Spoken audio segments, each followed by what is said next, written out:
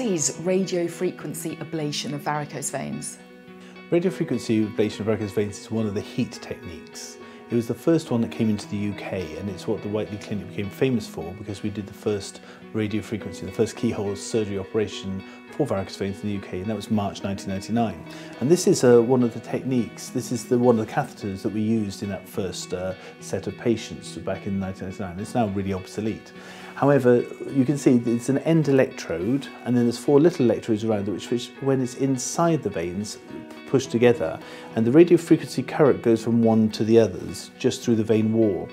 And what that radio frequency means is the current alternates, goes one way then the other way at radio frequency rates, so absolutely thousands of times per second.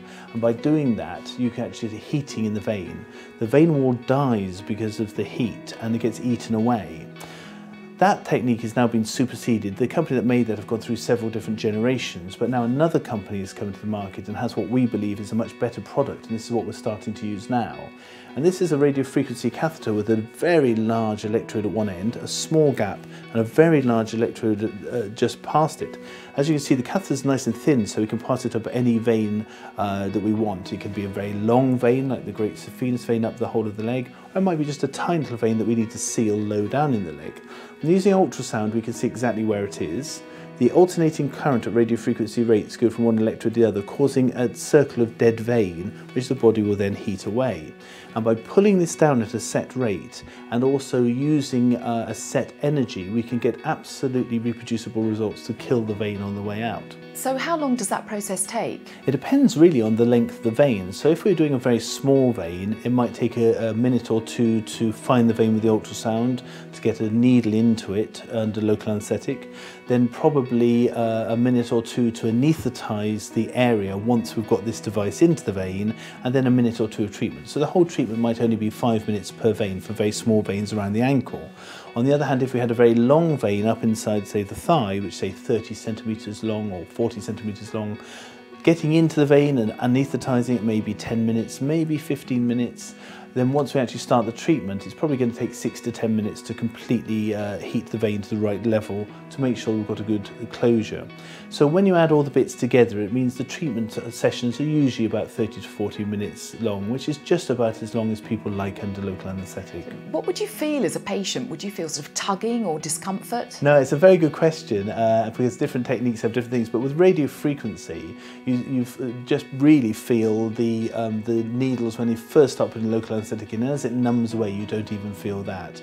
And the actual treatment cycle itself, when you're heating the vein, because the vein is surrounded by local anaesthetic, which uh, takes all the heat away, it really is completely and utterly painless. The patients don't even know it's happening. Is it suitable for everyone? Because the vein has to be in contact with the electrodes, it's suitable for a lot of people. However, it depends on the vein. It's not the person, it's the vein. If the vein has any clot in it, if the vein has any scar in it, if it's irregular, and if you don't get good contact between the electrodes and the vein wall, then it's not suitable.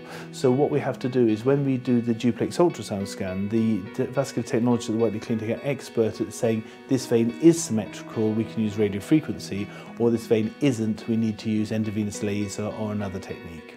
The radio frequency in the veins it's suitable for is very, very nice, purely and simply because the energy transfer is very, very mild, so you get exactly the heating you need for death, but you don't perforate through the veins. So there's minimal bruising, therefore minimal pain, and the patients really recover very, very quickly from it afterwards.